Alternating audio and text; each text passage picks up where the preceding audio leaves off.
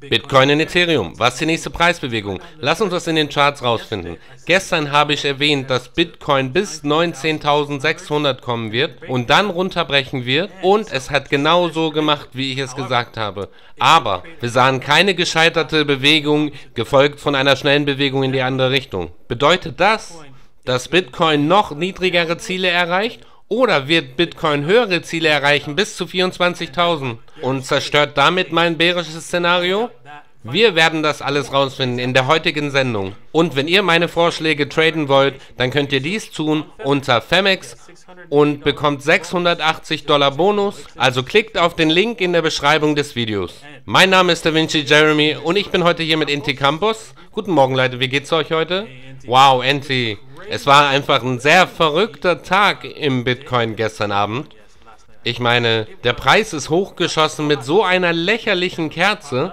Die ist einfach nur hochgeschossen und dann gerade wieder runtergeschossen. Heftig. Wie fühlst du darüber? Wow, also ich verstehe langsam, was du gestern gesagt hattest, mit dass Bitcoin sich wie den Forex-Markt verhält. Das wird immer mehr Realität. Ja, das stimmt.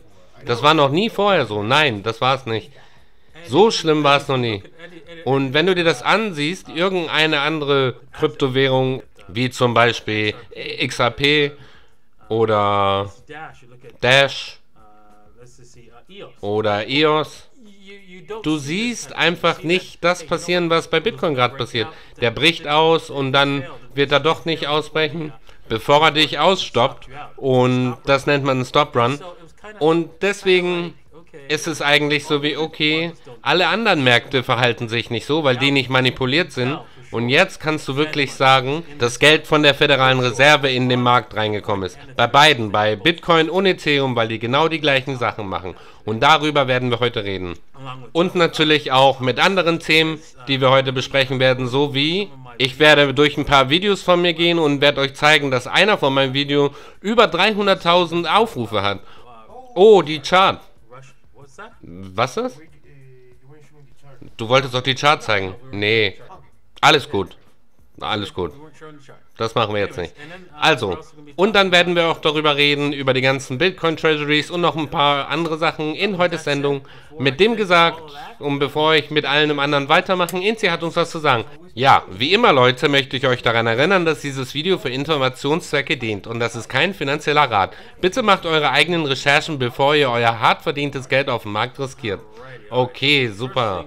Das erste zuerst. Ich möchte euch noch einen Blockbuster vorspielen. Und ich bin mir sicher, ihr habt das schon gesehen. Aber ich möchte euch es nochmal vorspielen und ich glaube, ich habe das geupdatet. Also, ihr drückt einfach den Gefällt mir Knopf, damit hilft ihr wirklich dem Kanal sehr. Und wenn ihr dann einfach einen schönen Kommentar hinterlässt, besonders wenn ihr DJ15 Token besitzt, es ist Teil deines Jobs, deinen Token höher gehen zu sehen. Also, dann müsst ihr abonnieren und die Glocke drücken und hinterlässt einen Kommentar. Es ist wirklich einfach, es macht Spaß und danke, dass ihr es tut. Okay, mit dem gesagt, hier ist einer meiner ersten Videos, die einfach nur explodieren. Ich meine, ich bekomme immer noch jeden Tag weit über 30.000 Aufrufe. Jeden Tag. Und dieses Video geht einfach nur verrückt.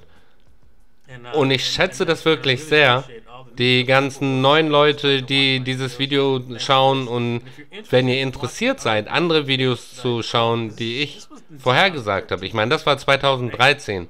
Ich habe wirklich ein paar gute in meiner Playlist, die ihr euch mal anschauen müsst. Hier zum Beispiel. Wenn du in meine Playlist gehst und dann Bitcoin 2011 calls, da kannst du ein paar wirklich krasse Videos sehen über wie ich Bitcoin kommentiere und ja. Lass mich nur mal eben hier auf alle ansehen. Und hier kannst du welche von den älteren Videos sehen, die ich hochgestellt habe, früher, wo ich versucht habe zu erklären, wie Bitcoin funktioniert und wo ich ein Video hatte, wo jemand anders Bitcoin erklärt, aber es hat nichts hat funktioniert. Keiner hat mir zugehört. Und die Leute haben eigentlich gedacht, dass ich komplett verrückt bin. Und weil wir gerade über verrückt und nicht zuhören sprechen, ich möchte etwas aufbringen über die Covid-Impfung. Und zwar, wisst ihr was, ich bin kein Gegner gegen Impfung, weil Impfungen schon der Menschheit schon sehr viel geholfen haben und auch gut waren.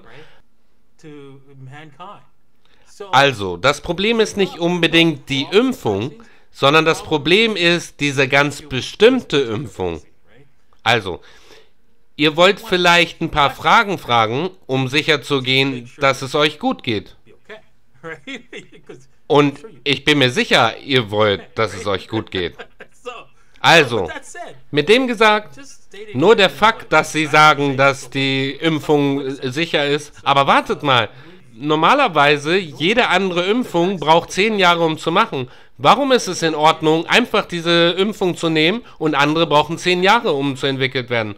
Und was für Versuche habt ihr gemacht mit dem Impfstoff, um davon auszugehen, dass Leute, die keine medizinischen Probleme haben oder dass die in Ordnung sind, wenn die diesen Impfstoff bekommen? Ich meine, fragt einfach ein paar Fragen, die normalen Fragen.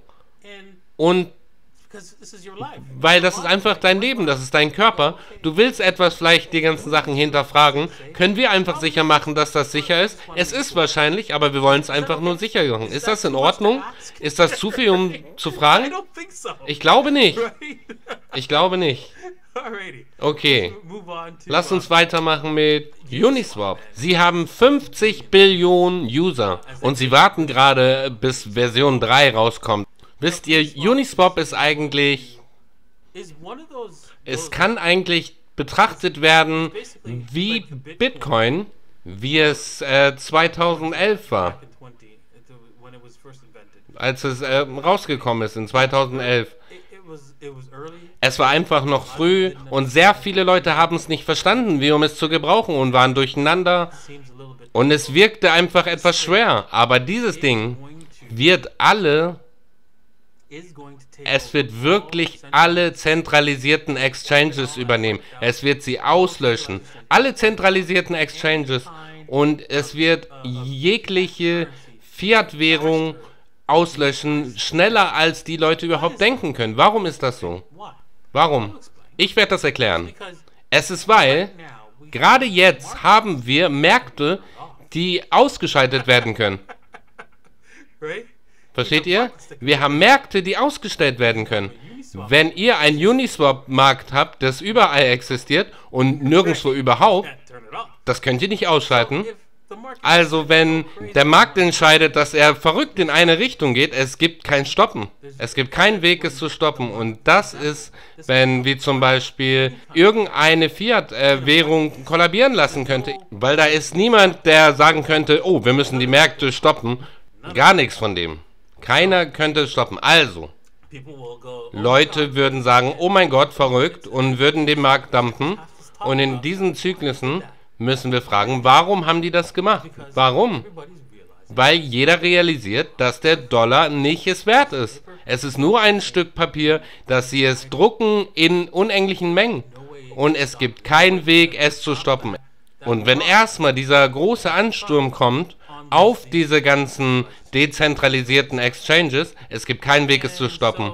Und deswegen, wisst ihr was, bevor ich weitermache, ich wollte eigentlich mit einem anderen Thema weitermachen, aber ich werde das eigentlich überspringen, weil ich wollte darüber reden, über ein anderes Thema. Und ich hatte das nicht bereit und ich werde das, es tut mir leid, dass ich mir das nicht vorbereitet habe.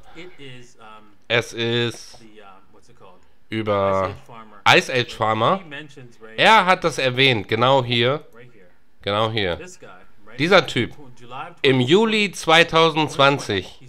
Er hat gesagt, ja, wisst ihr was, wir werden einen Angriff auf die Infrastruktur des Internets haben. Und dass es keinen Strom geben wird und dass es nichts geben wird. Und denkt dran, ich habe euch hier gesagt, dass ich viele Leute über Bitcoin erzählt habe und dass mir keiner zugehört hat. Ich erzähle euch, wenn dieser Typ redet, deren Pläne funktionieren nicht immer, aber oft genug tun sie es schon. Okay? Also, hört wirklich gut zu. Wenn die sagen, dass die sich vorbereiten und die schon etwas aufgebaut haben, und das haben sie schon, um die Leute darauf vorzubereiten, was passiert, wenn so ein Angriff durchgeführt wird. Und darüber reden sie. Und die haben das hier zusammengesetzt über das Event 201. Ich werde den Link in der Beschreibung unter diesem Video lassen. Und deswegen, ich würde vorschlagen, nur vorschlagen, dass wenn ihr könnt, dass ihr euch gut mit Nahrung und mit Wasser versorgt und wenn ihr natürlich äh, Strom speichern könnt, nur wenn ihr es natürlich könnt. Geht mit all dem bitte nicht über Bord und stürzt euch nicht in irgendwie einen finanziellen Ruin und werdet irgendwie verrückt. Aber macht einfach sicher, dass ihr versorgt seid und dass ihr sagen könnt, ja, ich habe etwas nur, etwas extra Nudeln und ein paar extra Flaschen Wasser, nur für den Fall. Nur für den Fall. Also, das ist alles. Geht aber nicht vollkommen über Bord damit. Okay.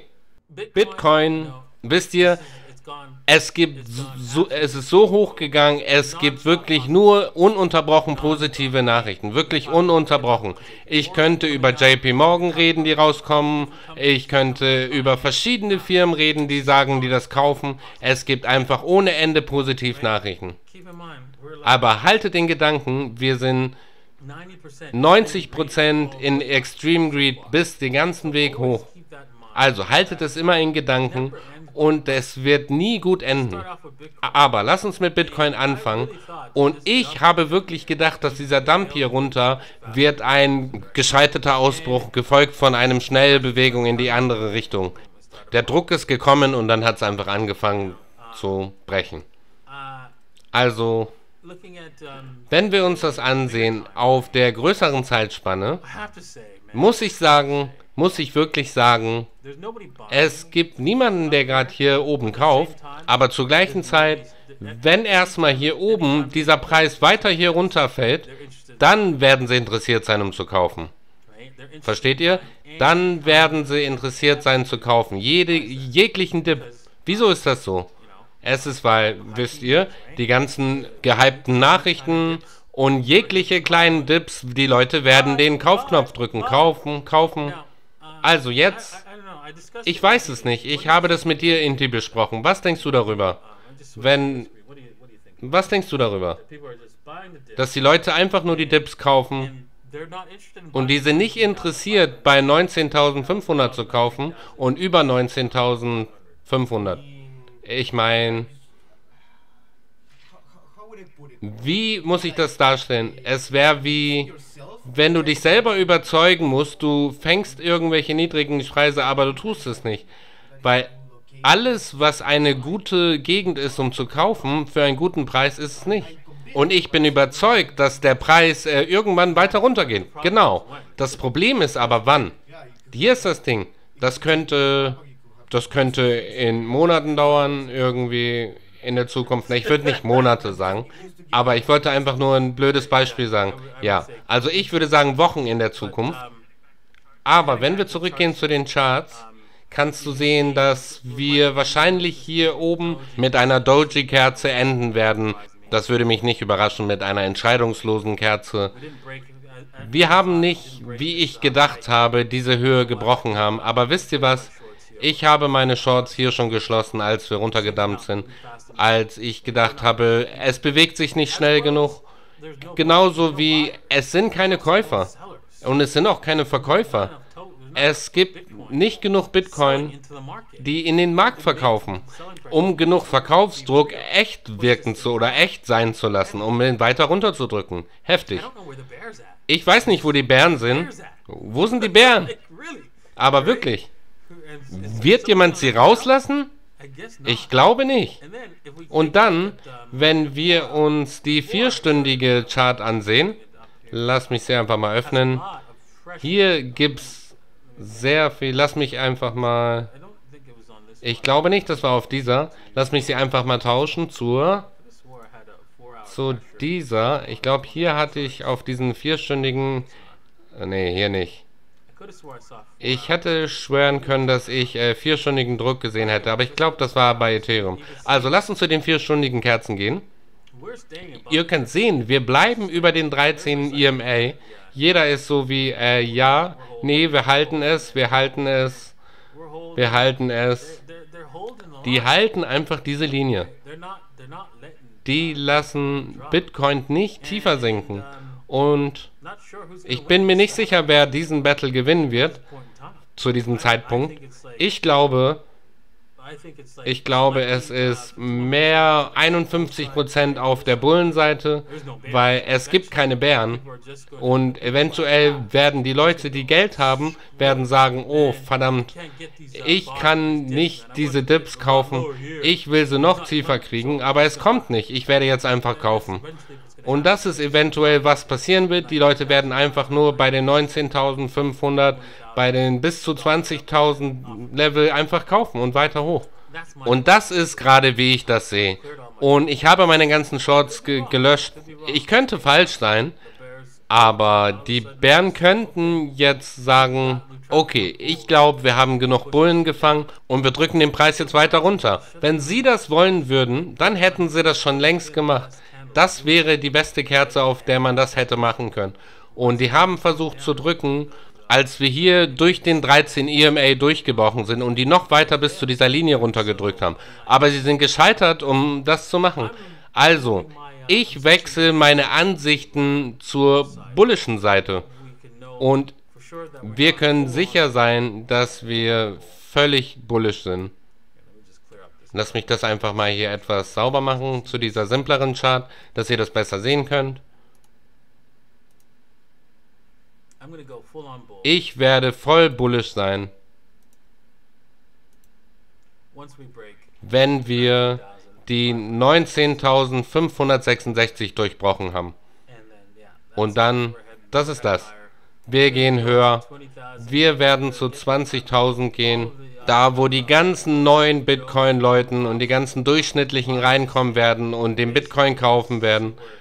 Und eigentlich Lass uns sehen, wo wir höchstwahrscheinlich hin ausbrechen werden. In diesem Blow of Top von hier. Ich würde sagen, das erste Ziel ist die 1.618. Und wir können immer noch höher gehen wie 27.000. Versteht ihr? Also, ich mag das. Wow. Wow. Das ist, ja. Hier ist meine.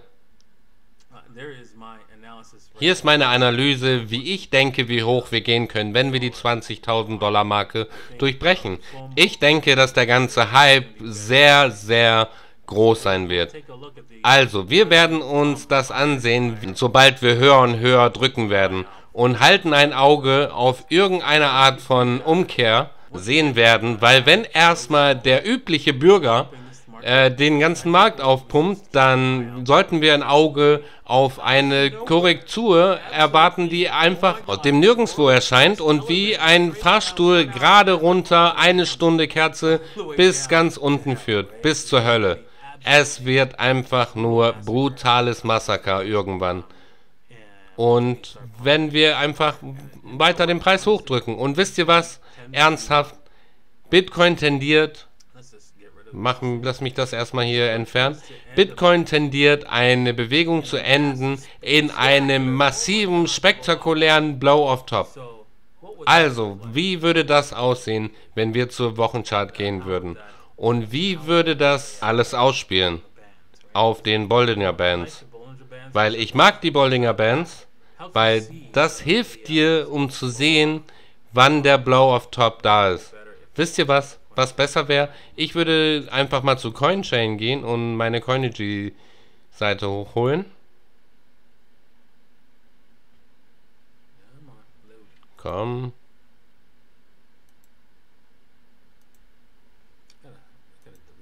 Ich muss das erstmal löschen und das speichern. Lass mich das speichern jetzt erstmal. Und dann... Also, bei 24, 27.000, lass uns einfach nur sagen, man sieht das auf eine kürzere Zeitspanne, kannst du sehen, dass die Boldinger Bands weit hier oben sein werden. Und das wäre das logischste Ding, besonders wenn wir das hier in einer sehr kurzen Zeit machen, irgendwo zwischen einer Woche und drei Tage oder so. Wenn wir das schnell machen, dann kannst du sehen, dass das sehr hart zurückkommen wird. Also, Und ja, wir sind unter dem 21 Moving Average. Also lass uns sagen, wenn wir das nächste Woche machen, bei 14.500 sind wir wahrscheinlich bei ungefähr 15.600 nächste Woche. Also das ist wahrscheinlich, wo wir zurückkommen werden, wenn wir einen Blau auf Top sehen. Wir werden bis darunter kommen und diese unteren Ebenen wieder neu zu testen und dann einen langsamen Aufmarsch nach oben. Also lass uns einfach sehen, wie das in der nächsten Zeit ausspielen wird oder ob es eigentlich direkt gerade runter geht in dieser Woche. Okay, lass uns rübergehen zu Ethereum. Und Ethereum tanzt hier rum an dieser Trendlinie, an dieser unteren Ebene der Trendlinie, was jetzt zu einem Wedge-Formation geworden ist, in die wir wieder hineingesprungen sind. Also, kannst du sehen, wir sind immer noch über diesem Support. Wir sind runtergebrochen, sind wieder hochgekommen und dann wollten wir runterbrechen und dann nein. Wir haben genau das gleiche Ding gemacht, wie Bitcoin es gemacht hat. Wir, wir haben Stop-Runs gemacht für die ganzen Bullen da draußen. Die haben euch ausgelöscht und dann wieder direkt runter. Brutal, ekelhaft und besonders, wenn ihr ein Stop-Loss für einen Short und ein Stop-Loss für die Bullen. Absolut katastrophal. Also deswegen, ja, es sieht so aus, als ob wir total überverkauft sind und überstreckt auf der vierstündigen, aber ich denke wirklich, dass wir höher be uns bewegen könnten, weil das gleiche Problem existiert hier bei Ethereum. Es gibt keine Käufer, die interessiert sind bei der 600 Dollar Gegend oder in der Nähe der 600 Dollar Gegenden. Und da sind auch keine Verkäufer, keine Hardcore-Verkäufer. Und deswegen, welche Richtung geht er? Es ist die Richtung, in dem die Öffentlichkeit unterstützt. Und was unterstützen sie? Ein Auftrend. Die wollen kaufen. Und sie werden eventuell so viel Geld in dieses System drücken, werden sie eventuell aufgeben und werden das System und die Preise viel höher drücken. Sehr viel höher, sehr schnell. Und das ist, wo ich das gesehen habe auf den vier Stunden. Den ganzen Druck kannst du sehen hier, der einfach nach oben drückt. Und generell vertraut mir, diese Indikatoren, die ich hier anhab, die sind sehr selten falsch. Und besonders, wenn die sich so zusammengruppieren. Ich bin zurückgegangen in der Zeit und auf der vierstündigen Kerze, wenn du so eine Gruppierung von diesen Indikatoren siehst, mit so viel Druck nach unten, dann kannst du einfach davon ausgehen, dass es runtergeht. Und bei so vielen Gruppierungen bei den Grünen kannst du einfach sehen, dass der Druck da ist. Und ich muss einfach die Seiten wechseln und muss mich auf die bullische Seite stellen zu diesem Zeitpunkt, weil ich weiß nicht, wo die Bären sind. Weißt du, wo die Bären sind, Inti? Wo sind die Bären hin? Ich weiß nicht. Oh Mann. Also, mit dem gesagt, wenn ihr das traden wollt, ihr könnt wahrscheinlich ein Long hier öffnen und natürlich das Stop-Loss wäre genau hier, weil das wäre ein M. Und dann könntest du das so machen. Bei Femex und könntest 600 Dollar Bonus bekommen. Um das zu machen, geht ihr einfach zu femex.davincij15.com und die Informationen sind in der Beschreibung in dem Video. Natürlich, wenn du ein neues Konto hast, dann werden sie dir einen 80 Dollar Bonus auf deine erste Einzahlung geben. Okay, Lass uns reden über den DJ15 Token, weil ich habe ein paar Dinge gemacht. Als erstes, ich habe es registriert mit Etherscan. Also bald wird dieses Logo sich ändern zu dem DJ15 äh, Logo. Ich zeige euch das mal eben.